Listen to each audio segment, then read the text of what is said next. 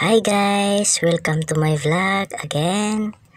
Um, gusto ko lang po i-share sa inyo guys at ipapakita sa inyo guys kung papaano po lumipad yung dragonfly namin. Ito po siya guys, lumiliko na siya guys. Magpapalipad na po kami ng dragonfly namin. Tingnan nyo guys.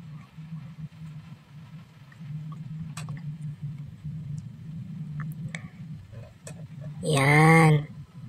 Tumutuyok pa siya guys. Para mapaplastar ang kanyang paglilipad guys. Ah, tingnan nyo guys. Naghanda pa lang siya guys na bumuboylo.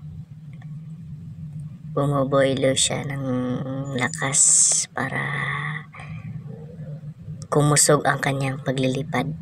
Tingnan nyo guys. Tingnan nyo guys ha.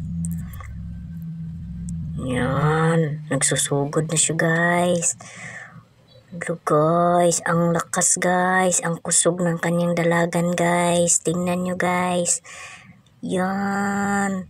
Papunta na siya ng America guys. America.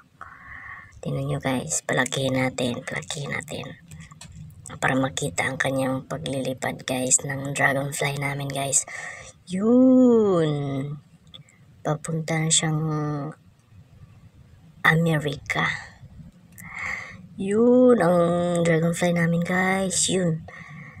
Diba ang laki, ang laki-laki niya guys kung lapitan guys. Pero pag nasa malayo na siya guys, tingnan mo guys. Yung kumikidlab pa ang kanyang puwit guys. Tingnan nyo guys. Yun. Okay, dito na lang tayo.